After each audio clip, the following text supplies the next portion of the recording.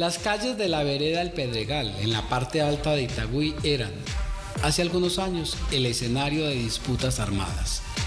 Hoy son una galería, una expresión del color y la memoria. Esas fronteras invisibles se borraron con arte, con un festival en el que afloró lo mejor de su gente, entre quienes estaban aquellos que le arañaron una vivienda a este pedazo de montaña.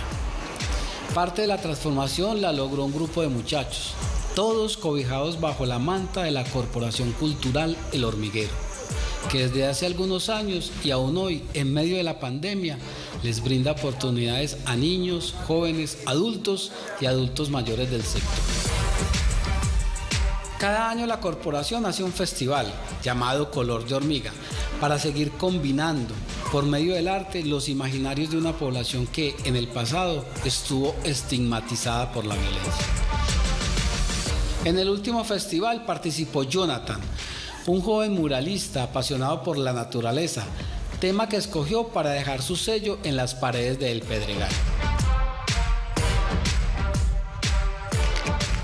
La forma salvaje simple y ahí está, siempre aparece, siempre sale por aquí, entra por allá. Eh, entonces me pareció que era lo que yo quería poner por acá. Y pues al, al venir acá a pintar eso vi que el proceso de ellos en el barrio es algo que, pues en el barrio Vereda es algo que, que estos espacios necesitan, porque la gente necesita ver, ver de qué forma, de qué forma personas distintas al territorio lo pueden ver.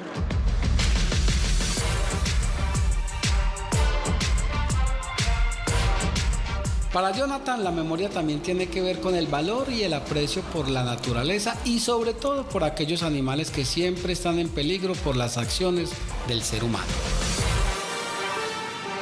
Lleva 10 años pintando en la calle y pintando los temas que le apasionan como la majestuosidad de las aves y para esta ocasión escogió una guacharaca.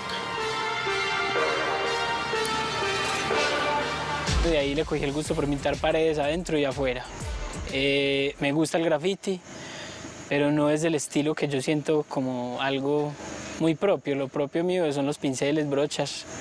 Usualmente uso el graffiti como medio gráfico para complementar el mural. El mural pues de brocha, pero el duro mío es el pincel y la brocha gorda. Vivir en medio de la naturaleza le ha permitido un diálogo diferente con su entorno para luego plasmarlo con sus trabajos en el espacio urbano, al que llegó por caminos diferentes. Después de vivir en la montaña, eh, viví varios años en Santa Elena, ahora estoy en la estrella, eh, le cogí un gusto tremendo pues a las plantas y a lo que se representa como figura orgánica y a los animales.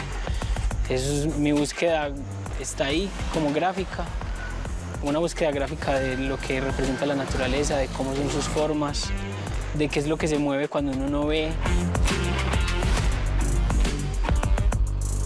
Jonathan es amigo de la Fundación Cultural El Hormiguero y uno de sus invitados a los festivales.